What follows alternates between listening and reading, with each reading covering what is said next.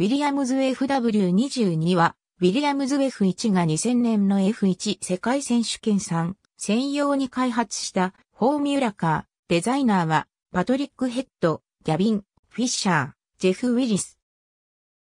ルノーエンジンとの提携に続いて、この年から BMW と長期契約を結び、BMW 製 V 型10気筒エンジンを搭載することになった。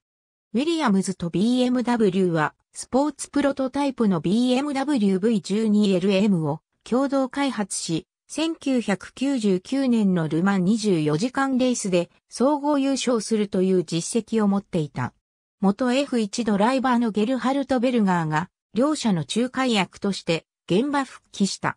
車体、エンジンともにジョイント初年度は信頼性を重視し、コンサバティブに仕上げられた。空力面では、モナコ GP よりサイドポンツーン上にミニウィングを装着。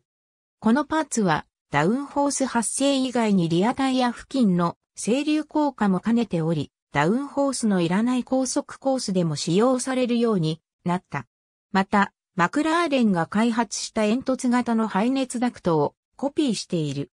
マシンカラーは BMW ワークスに合わせた白と紺を基調とし、スポンサーのロゴまでカラースキームに統一するという配慮を見せた。ドライバーはチーム在籍2年目のラルフ・シューマッハとルーキーのジェンソン・バトン。ラルフはシーズンで3回の表彰台を獲得し、バトンも新人らしからぬ安定感で6度の入賞を果たし、コンストラクターズランキング3位を獲得した。ありがとうございます。